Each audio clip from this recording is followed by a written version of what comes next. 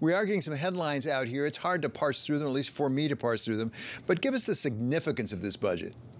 Yeah, look, we could call this the Build Back Better budget uh, based on what I've seen here, David, because it does include a number of big ideas that were baked into the Build Back Better plan, the social spending plan that the president was not able to get across the finish line last year. Now, as you mentioned, this is literally being released as we speak at this moment, and the president will speak to it later on today. A couple of headlines I want to get off right off the top. A $6.9 trillion budget, that's the top line, would increase discretionary spending spending by 5%, defense spending by 3%, remembering that House Republicans wanted a defense spending cut here, non defense spending up by more than 7% to $688 billion. It would hike taxes by more than $5 trillion, and that's important here.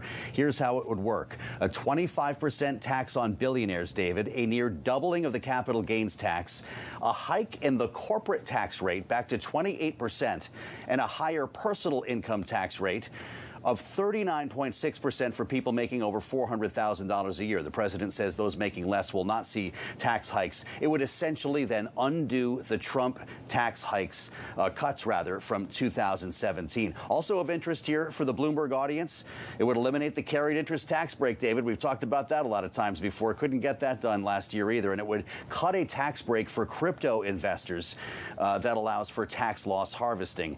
Uh, tax incentives for fossil fuel companies would also be cut. When you zero out here and look at headlines just now crossing the terminal, this plan, David, would add $17 trillion to the deficit over a decade.